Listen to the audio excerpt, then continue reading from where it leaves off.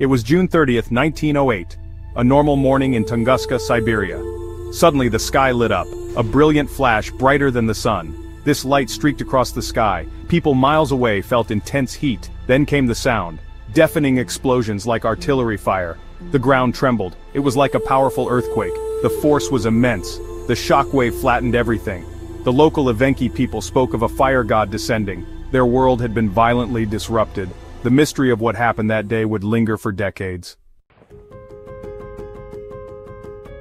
The immediate aftermath was devastation. Over 80 million trees were flattened. They covered an area of 2,150 square kilometers, all pointing away from a central point. It took years for scientists to reach the site. The first expeditions were led by Leonid Kulik in the 1920s. Kulik was looking for a meteorite. He expected to find a giant crater, but Kulik found no crater. This was a big surprise. How could such a massive explosion happen and leave no impact scar? For several nights after the event, the sky was unusually bright. What caused this lingering glow?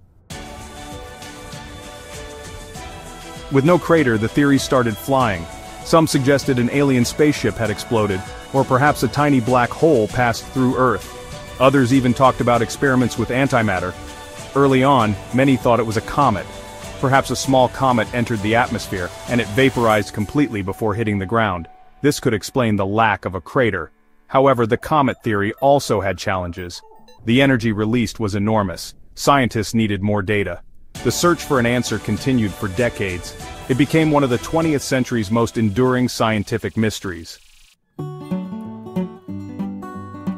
Today most scientists agree on the cause, it was a cosmic airburst. A meteoroid, probably a stony asteroid, entered our atmosphere. It exploded in the air, about 5 to 10 kilometers above the surface. This airburst explains the massive widespread damage, and it explains the lack of a crater. The explosion's energy dissipated outwards, the shockwave flattened the trees below. Scientists have found tiny spheres of silicate and magnetite. These spheres have high levels of nickel.